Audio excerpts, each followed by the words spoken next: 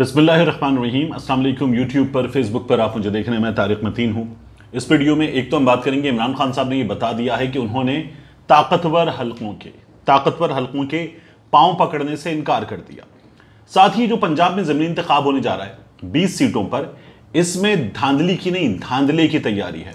पाकिस्तान तहरीक इंसाफ के अपने लोग कह रहे हैं कि तय हो गया है, चौदह सीटें नून लीग को दी जाएँगी, छह सीटें दीगर को दी जाएँगी और पाकिस्तान तहरीक इंसाफ को हरवाया जाएगा, इस बात की पूरी तैयारी है। यह भी मैं आपके सामने रखूँगा। और इसके साथ साथ ये जो इंपोर्टेड हुकूमत है, ये महँगाई को कहाँ लेकर जाएगी? पेट्रोलियम का नंबर्स कहाँ पहुँच रहा है? इस हवाले से माहरीन क्या कह रहे हैं? ये पिक्चर भी आपके सामने रखेंगे। सबसे पहले मैं आपको बताऊँ, इमरान खान साहब ने ये कहा है कि उनके पास ऑप्शन था। वो ताकतवर हलकों के पाँव पकड़ते या अवाम में जाते। उन्होंने फैसला किया कि वो लोगों में जाएँगे। और लोगों में गए इमरान खान साहब। इमरान खान अब भी लोगों में हैं।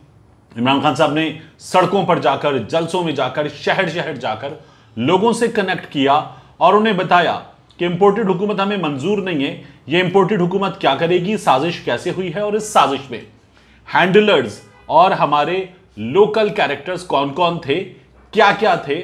और इमरान खान साहब अभी इस सिलसिले में कुछ मजीद चीज़ें हैं जिनसे पर्दा उठाने वाले हैं। तो इमरान खान साहब ने बनी गाला में सहाफियों से एंकर्स से सीनियर सहाफियों से मुलाकात की और यह कहा कि कोई भी ये ना समझे कि लॉन्ग मार्च खत्म हो गया। जल्द इस्लामाबाद का रुख करूँगा। हमें सुप्रीम कोर्ट के फैसले का इंतज़ार है, जिसके बाद पूरी कुत से लॉन्ग मार्च करूँगा। हम हुकूमत के फस्ताई हथकंडों का भरपूर मुकाबला करेंगे। हमारे यहाँ कुछ ऐसे बेशर्म सहाफ़ी भी मौजूद हैं, जो राना सनाउल्ला की ज़बान बोलते हैं।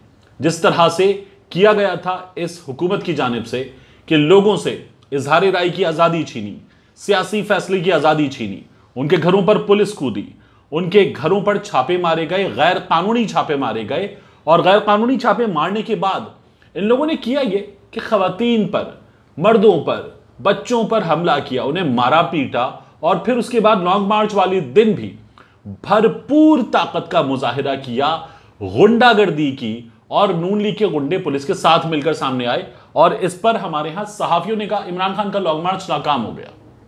यानी एक जानब, हुकूमत की पूरी ताकत थी, उसमें कानून नाफिज करने वाले इदारों के अहलकार थे, सिर्फ़ पुलिस नहीं थी, और दूसरी जानब निहत्ते शहरी थे, जिन पर वो लोग हमलावर हो रहे थे। और ये झूठ भी बोला गया कि तीन पुलिस वाले भी इसमें शहीद हुए थे। मैंने ये तमाम हक आपके सामने पहले भी रखे थे।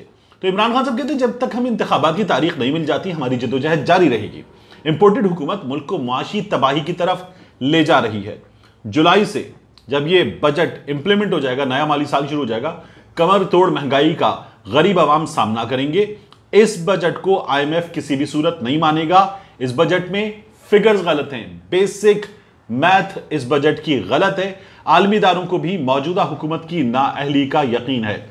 तो इमरान खान साहब ये कहते हैं कि मौजूदा सियासी और मुआशी बहरान से ताकतवर हल्के भी परेशान हो चुके हैं। इस बारे में इतलात आ रही हैं कि ताकतवर हल्के भी परेशान हुए हैं और अब बहरान से निकलने की सोच है। यह पहले भी पता चला था कि इस हुकूमत को मशवरा दिया गया कि आप इंतबात की तरफ़ चले जाएँ। इन्होंने कहा, नहीं, हमें गारंटी चाहिए कि हम मुश्किल फैसले लें और इंतबात की बात कोई ना करे।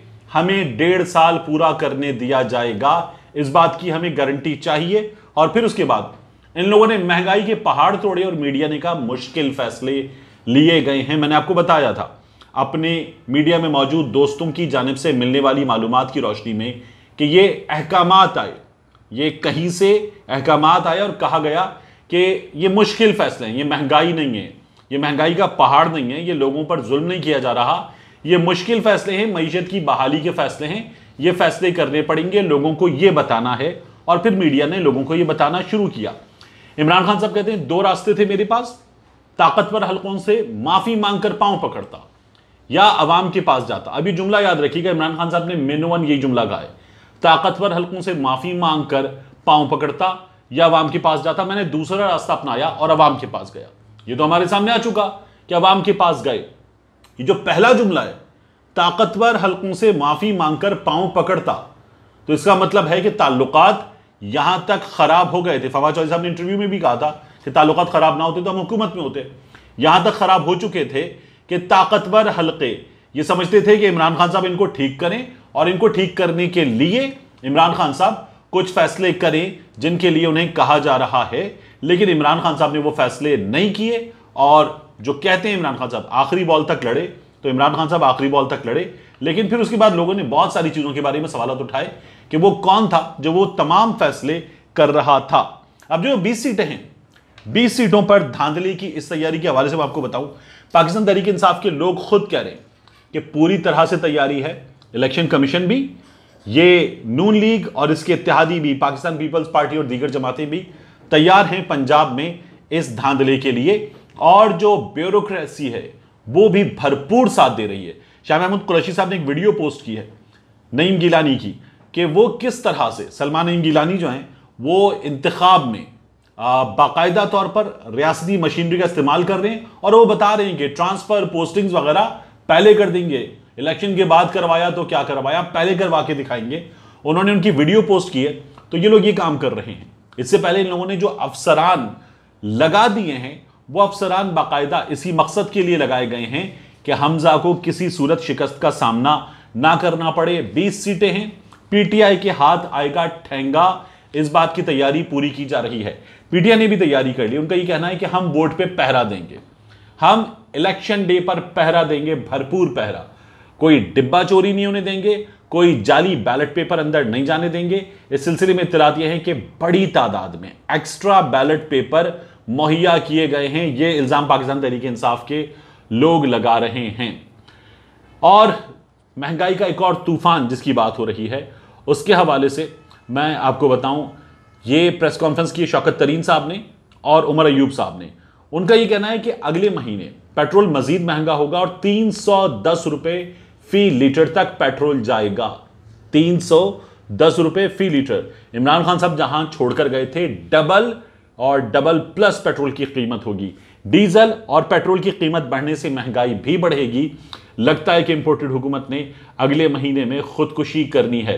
वो ये कहते हैं कि पेट्रोल 300 से 310 होगा और जो काश्तकार ट्रैक्टर चलाएगा, वो कहाँ जाएगा? डीजल और पेट्रोल की कीमत बढ़ने से महँगाई भी बढ़ेगी। तो ये सूरत हाल है। इस सूरत हाल में हर आदमी परेशान है और ये जो इंपोर्टेड हुकूमत है, इनका ये कहना है, हम सख्त फैसले लेंगे और हमें सख्त फैसले लेने होंगे, बिजली की कीमत भी बढ़ेगी। मिफ्ता इस्मान साहब ने इंटरव्यू में बता दिया, पेट्रोल की कीमत भी बढ़ेगी और टैक्स जमा करना होगा। हम मुल्क को श्रीलंका नहीं बनने देंगे। इमरान खान तबाही मचा कर गया था।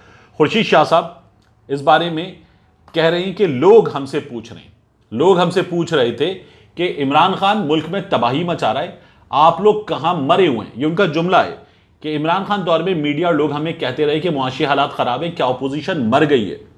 अब जो हालात हैं उनमें आम आदमी मर गया है। उनमें मीडिया भी मर गया है, क्योंकि मीडिया को पैसा मिल गया है और मीडिया मर गया अब मीडिया खबरें नहीं दे रहा कि हो क्या रहा है।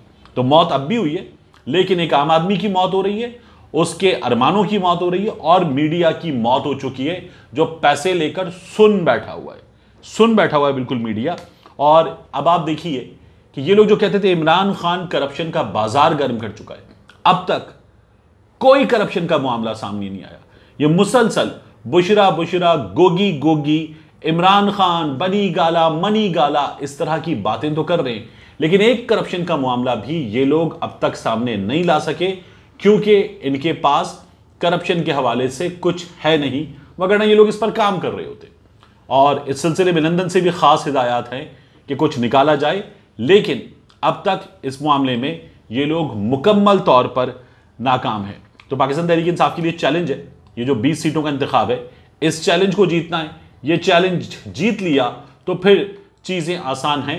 वगरना पाकिस्तान तहरीक इंसाफ के लिए जितनी मुश्किल है, उससे ज़्यादा मुश्किल है एक आम आदमी के लिए। मिलते हैं इंशाल्लाह आपसे अगले व्लॉग